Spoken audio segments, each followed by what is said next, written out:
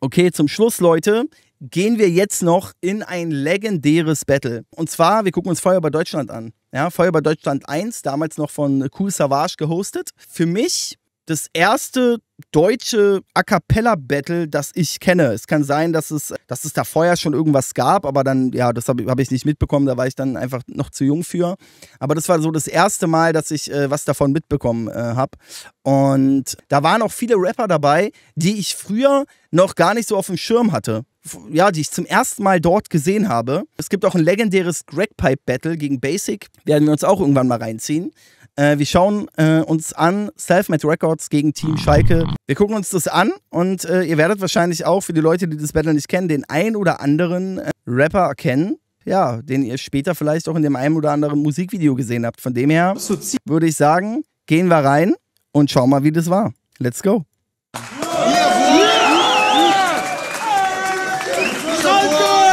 Von wann ist das? Oh, das ist eine gute Frage. Wann kam das denn raus? Lass mich kurz gucken.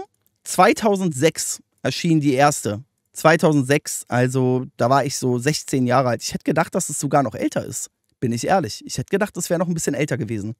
Aber 16 war ich zu dem Zeitpunkt.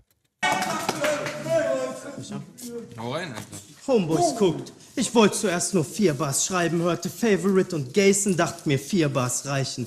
Fuck it. Jetzt das hatte auf jeden Fall, ich würde sagen, Feuer bei Deutschland war auf jeden Fall ein nettes Experiment. Es gab auch nice Parts. Vom Vibe her hat man aber gemerkt, es war alles noch so ein bisschen, ein bisschen unangenehm. Also es gab öfter mal so Situationen, die, die sehr still geblieben sind oder in dem ähm, die, die Reactions sehr komisch waren, ne? Oder die Delivery oder so sehr aufgesetzt war. Aber es war irgendwie, Digga, es hat äh, damals krass unterhalten. Jetzt habe ich 16 Bars, um auf euren Kopf zu zielen.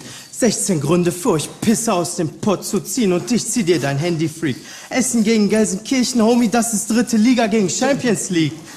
Das ist wie gut gegen schlecht, talentiert gegen wack. Oh ja, stimmt. Und es gab so viele. Oh, Digga. Ne? Es gab so viele Leute, die gechoked haben, Digga. Aber es ist auch interessant zu sehen, wie die damals noch geflowt haben, ne? Also wie, wie die A Cappella äh, flowmäßig unterwegs waren. Heute ist es ja ein ganz anderer Stil. Es geht eher so um diese, äh, um die Pointen, um die Punchline, ne? Da hast du das Gefühl, es geht doch viel mehr um diesen Flow, um diesen Vibe, um, dieses, um diesen Style. Weißt du, was ich meine? Die ich damals noch besiegen konnte. Pop, pop, pop, macht das Maschinengewehr. Oh, der. So, weißt du? Das, nein. Das ist wie gut gegen schlecht. Talentiert gegen Work, ich schick dich sonst wohin, du Mongo-Kind, mit deinem einzigen Text, yes. Ich bin das, was deine Bitch eine Affäre nennt. Sie verbringt mehr Freizeit in meinem Bett als Pfadfinder im Feriencamp. Ja, Mann. Und glaub mir, sie ist eine crazy... Und das, das Lustige war auch immer, wie die einzelnen Rapper ihre Parts ähm, äh, äh, gebracht haben und im Hintergrund stand immer die Crew und die hat dann immer total gefeiert oder einer hat dann versucht noch so, ja Mann, ja Mann, aber kein anderer. Also es war schon, es war schon teilweise unangenehm, aber legendär. Sie Coxsackerin, ich besuch sie so oft, dass sein Baby mich Papa nennt. Connected Leute, die mich hauen wollen. Doch ich kenne Leute, die die Leute, die mich hauen wollen, liebend gern mal hauen wollen. Leute, die euch gern mal hauen wollen, solange bis ihr liegen bleibt. Ich bin so fly, ich bringe euch Vögeln jetzt das Fliegen bei. Oh, diese Geräusche. Uh. Ey, Bro, du musst vorne stehen. Ah, nee, okay, jetzt kommt der. Oh, Faith gegen Pillard, Bruder. Uh, legendär. Ah, legendär. Oh nein, jetzt wird's unangenehm, Leute. Jetzt gibt's Fettshaming. Ich hoffe, ihr seid bereit. Ja, wer damit nicht klarkommt, jetzt lieber, lieber ausmachen. Der Faith-Part ist so geil. Ey, ich finde Pillard aber auch sehr geil. Ey, ich fand beide Parts sehr geil. Du machst auf Ruhrpott doch, ziehst dich an wie New Yorker, zieh dein Trikot aus, du dicke Sau, du fetter Antisportler. Du fetter Fettsack, scheiß auf Battle, ich erstech dich. In der Hoffnung, das Messer kommt tief durch deine Fettschicht. Süß. War cool? War cool? Oh nein, nein, das hat schon immer so einen cringing äh, Vibe, ne? Alter, für Jasons Lippe gab es sicher einen Grund. Der hat an deiner Bitch geleckert, der dann Trippe am Mund. Das kommt davon, wenn man die miese Möse leckt. Pillard, Alter, du riechst nach Fritteusenfett. Lass mich raten, Triple Pommes, Mann, du mies, ey. Du brauchst kein Beef, du brauchst einen Beefsteak. Du könntest duschen, aber nix, da du smellst. Immerhin musst du zum Hörer greifen, Pizza bestellen. Ich glaube, es bleibt recht ruhig. Das sind ja keine schlechten Lines. Also, wenn du dir überlegst, 2006, ne, da gab es doch keine 20 äh, JBB, VBT Runden gegen äh, äh, Übergewichtige oder Menschen mit ein bisschen mehr äh, Speck äh, am äh, Körper. Ne? Ähm, aber ich glaube, ich glaube, alle waren so ein bisschen geschockt und haben sich gedacht, ah nee, das sollten wir mal lieber nicht supporten, Alter. Deswegen ist es recht ruhig geblieben, ne? Also es war schon mies. Du baltes Dipsit. Faith rhymt wie keiner. Pillard, sei nicht traurig, ich schenk dir 99er. Der macht dich eh nicht satt, Bitch, ich helf und schenk dir noch ein Big King XXL. Denn du bist schon ein Mörderding. Pillard, zieh die Krone auf, du bist der Burger King. War auf jeden Fall eines der besten Battles, würde ich sagen, äh, bei Feuer bei Deutschland. Oder eines, der, die mir so am meisten im Kopf geblieben sind. Dieses Faith gegen Pillard-Ding.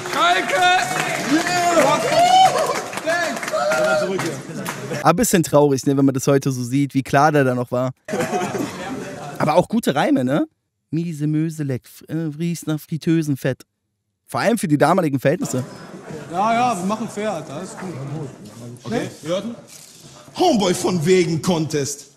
Ich hab schon Magazine leer gepumpt, bevor du Punk eins lesen konntest. Erzähl mir ja nicht, dass du weißt, wie man Knete macht, Mädels knackt. Sein Gesicht beweist uns, dass selbst Gott manchmal Fehler macht.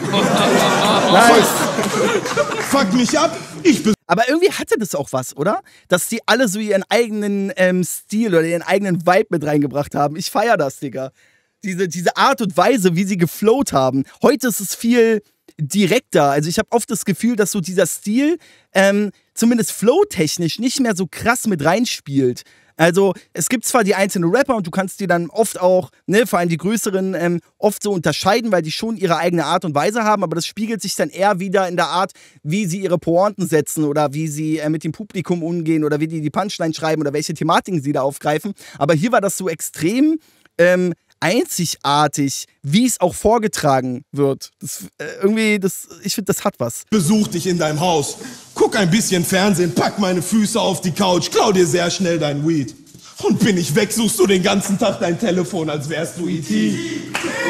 Also halt mal den Rand. Oder ich halt kurz mal an. Geb das Eis an meinen Homeboy und sag, halt kurz mal Mann. Okay. Hol ein Messer raus und halt's kurz mal an deinen Schädel, trenn ihn ab und sag dir halt kurz mal Mann. Also, gib ruhig zu, dass du nix hast, Holmes. Ich hab öfter gefickt, als er gewichst hat, Holmes. Sieh mich im Video mit Goldring, Sterling und mehr. Mein Label-Boss ist Moses Pelle und deine sind Ernie und Bert. Gitte. Alter, Pillard, der Pillard hat auch eine geile Attitude, ne? Wenn der am Rappen ist so, wenn der da steht, der macht irgendwie Eindruck. Der hat so eine Aura irgendwie, ich weiß auch nicht.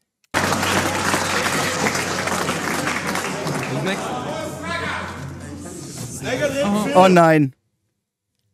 Oh nein, Bruder. Oh nein, jetzt wird's unangenehm. Jetzt wird's unangenehm. Oh nein. Ah, Schimmel, Alter. Ja, Mann. Ey, ich kannte das Schimmel schon, soweit ich weiß, und fand den und finde den auch heute auf Tracks, fand ich den immer ziemlich nice, ne? Meine Geschichte oder ich weiß gar nicht, kannst du ihn sehen? Und der hat irgendwie, der hat eine geile Art zu rappen auf Tracks. Aber A Cappella, das war eher unangenehm, aber wir gehen mal rein. Ich bringe es auf den Punkt. Du gehst auf den Strich. Mich zu erreichen ist und bleibt ein Traum für dich. Ich wisch euch drei Lappen leicht weg wie der Charming Bär, fege euch weg wie ein Rasenmäher. Ey, Du hast halt voll das Gefühl, da kriegt kaum Luft, ne? Als wäre der so, ja, als wäre er maximal nervös. Als wäre er maximal, nee, der, der gerade rappt, ist Schimmel. Als wäre er maximal nervös und kriegt kaum Luft deswegen so. So, so dieses so, äh, ey, du machst auf, du, du, du machst auf harten Gangster, aber keiner kann dich schlagen.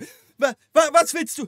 Was willst du? Was willst du sagen? Äh, so, das ist schon, ja, ah, Bruder. Und das ist vor allem dann halt unangenehm, wenn du vorher auf Tracks halt immer so diesen harten markierst, ne, und so ein bisschen, ah, das weiß ich noch. Da habe ich mich früher schon ein bisschen fremdgeschämt für.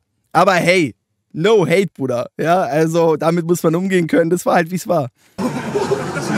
dein Umfang zu messen, wird eine Kunst für sich. Warte, wir gehen nochmal zurück. fege euch weg wie ein Rasenmäher. Ey. Dein Umfang zu messen, wird eine Kunst für sich. Selbst Galileo hat es versucht, doch er konnte es nicht. Ich bin Oh nein, es wirft er noch seine Kommentare rein, Alter. Heute wäre das No-Go, ja. Heute wäre das No-Go. Ja, würde man niemals machen, sich da einzumischen. Aber zur damaligen Zeit, da gab es diese, ne, diese, diese Regelungen noch nicht, oder ich weiß nicht, ne, da war das anscheinend noch nicht so, so ein, so ein Ding, aber das macht es natürlich noch unangenehmer, ne, wie er sich jetzt lustig macht. Ja? Stell dich erst mal bei so einer Crowd hin und lief ab. Naja, ich habe schon oft gesagt, dass ich massig Respekt habe vor Leuten, die das hinbekommen. Ne? Also äh, safe, ja. Aber trotzdem ist es nun mal, nun mal so, dass die, die Situation so war, wie sie war, ja. Oder also, ne, ich hoffe, du bewertest nie oder du urteilst nie über irgendwelche Dinge, die du siehst, die du noch nie selbst gemacht hast. Ne? Du messen, ja. eine Kunst für sich. Ja. Selbst Galileo hat es versucht, doch er konnte es nicht. Wahnsinn. Ich bin eine Dogge, die den Angstschweiß zieht. Ja. Eine Wumme, die mit Punchline schießt. Ihr Punk seid weak. Wenn's dir zu viel wird, ruh dich aus und setz dich. Du Milchbubi, löst dich auf wie Nesquik. Du bist in meinen Augen kein Rapper. Ja, die Reaction macht's halt noch schlimmer. Ne? Er wirft seine Worte rein, jetzt lacht er ihn auch aus. Also ich weiß noch, dass es danach eine ganze Ecke Schimmel gegenüber viele ja, viel Häme gab, so immer mal wieder. Ne, der wurde lange damit aufgezogen. Du Milchbubi, löst dich auf wie Nesquik. Du bist in meinen Augen kein Rapper. Bin zehn Jahre jünger und tausendmal besser. Ich knüpfe eine Schlaufe aus Bändern und häng dich an den nächsten Baum wie Lametta.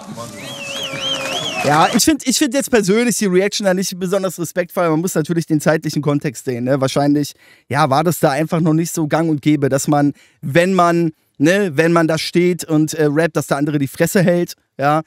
Ja, würde man heute so nicht mehr machen, aber damals ging das anscheinend. Das hat, das hat natürlich, aber jetzt guck mal, immerhin sagt er jetzt, ne, äh, ist jetzt dieser Respekt da, von wegen so, ey, gib da mal Applaus, glaube ich zumindest, ob er es ernst meint, weiß ich jetzt gerade nicht, aber ich glaube schon. Ja. Aber dann hätte er auch dabei leise sein sollen, sind wir ehrlich, ne? Okay. okay. Wer wäre er nochmal? Du bist gayer als gay. Ich bin famer als Fame. Frag deine Homes, ich bin der härteste Gegner im Game. Fuck mich nicht ab, schmeiß ein Hand, du Punk, oder ich smack dich härter als Rocky und Rambo zusammen. Fuck AG, doch ruh schon deinen besten Freund. Gayer als gay. Ja, ey, Bruder, 2006. ja, da war das so. Fuck AG, doch ruh schon deinen besten Freund. Denn jeder weiß, ihr seid so gay wie die Patcher Boys. Scheiß Rap auf Deutsch, bring deine Pussy Bars. Nach diesen Lines siehst du älter aus als Uschi Glas. Pussy, was, ich kill dich, nimm deinen Kopf als Pokal.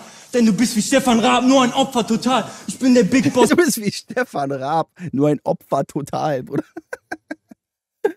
ah, Junge, Alter, geil. Ich kill dich, nimm deinen Kopf als Pokal. Denn du bist wie Stefan Raab, nur ein Opfer total. Ich bin der Big Boss, bei dem jeder MC jubelt. Ich mach einen Move und du denkst, ich wär Jetlis Double. Und Favorite, du bist ein rappender Trottel. Du erinnerst mich an Flair, du bist eine fette, Kartoffel. Kartoffel Ah, Pillard. Ah, Pillard, come on, Alter. Der, der freut sich aber ein bisschen zu doll, oder? Also für die Line, jetzt die Reaction, da ist er aber hier, guck, guck dir das mal an. Das du ja und Favorite, du bist ein rappender Trottel. Du erinnerst mich an Flair, du bist eine fette, fette Kartoffel. Kartoffel du bist in Essen. Hey, hey. Hey, hey, hey, hey. Du bist in Essen erschossen Homie, guck, ich hol die Ruger raus und zeig den Leuten, brett, brett, brett. So sehen Loser aus. Ja, Mann. Self-made. Ich komm für beide. Achte auf deinen oh Hinterband. Oh, jetzt kommt wieder Schimmel. Mal gucken, vielleicht hat er sich jetzt wieder ein bisschen im Griff gehabt. Ich weiß es nicht mehr. Er ist natürlich jetzt in einer scheiß Situation. Ne? Da wieder rauszukommen, ist schwierig, Digga. Mal gucken, wie es war. Ich kann für beide. Achte auf dein Hinterbein, denn es könnte Schimmel sein. Er drischt dein Bein von hinten in deine Innereien. Reißt euch durch wie ein Umschlag, schmeißt euch danach weg. Was ihr macht, ist nicht clear, sondern vollkommener Dreck. Ich loch ein wie auf den. Er ist halt sehr hektisch, ne? Er ist einfach sehr hektisch. Ich glaube, die Nervosität hat ihm da leider krasses Bein gestellt. Reißt euch durch wie ein Umschlag, schmeißt euch danach weg. Was ihr macht, ist nicht clear, sondern vollkommener Dreck. Ich loch ein wie auf den Golfplatz. Räum den Weg frei wie die Volksbank. Big Pillard, ich spiel mit deinem Dick Billard. Was ist 3P? Ich spiel mit deinem Dick Billard, Digga. Bank. Big Pillard, ich spiel mit deinem Dick Billard. Was ist 3P? Hier ist mein Fickfinger. Bleib mal hier, bleib mal hier, bleib mal hier. Bleib mal hier. Bleib mal hier.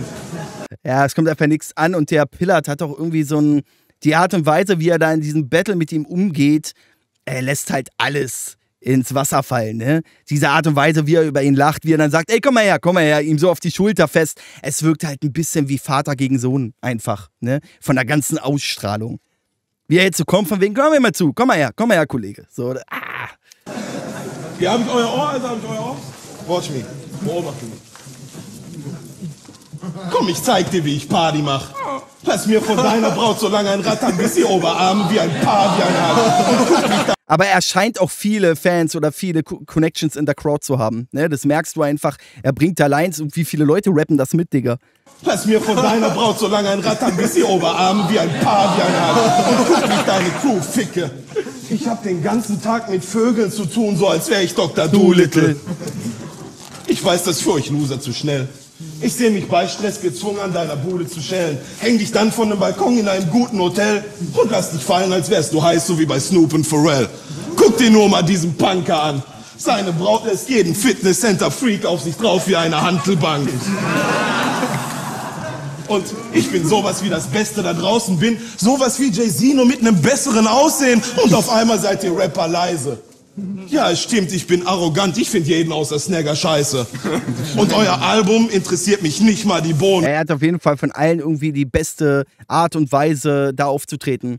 Er wirkt halt extrem selbstsicher und von sich überzeugt. Ne? Dieses Selbstvertrauen und diese Selbstsicherheit können alle, konnten alle anderen nicht über, rüberbringen. Auch nicht ein Faith. Ein Faith am ehesten vielleicht noch, aber ich fand, auch wenn er es gut rübergebracht hat, hat man auch in, bei ihm so eine gewisse Anspannung gemerkt. Er wirkt recht von sich überzeugt, er weiß, er ist der Boss und das kommt, das, das wirkt sich halt auch aufs Battle aus, so, ne? Ganz, ich finde jeden außer Snagger scheiße.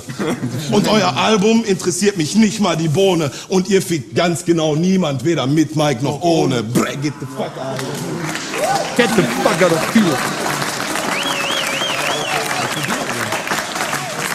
Ist auch so, ist auch so maximal merkwürdig, ne, wenn man sich das heute so anguckt, wie da einfach Savage in der Mitte steht und so, so also ganz wie aus so einem Paralleluniversum, Alter. Aber ich glaube, er hat doch nur die erste Staffel moderiert, ne?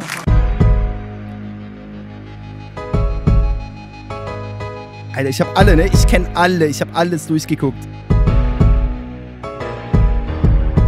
Da gibt's schon noch einige Highlights, Alter. Ich weiß auch, in Staffel 2 oder 3 gab es so einen Trump. Es gab auch so geschrieben wie, geschrieben wie Donald Trump.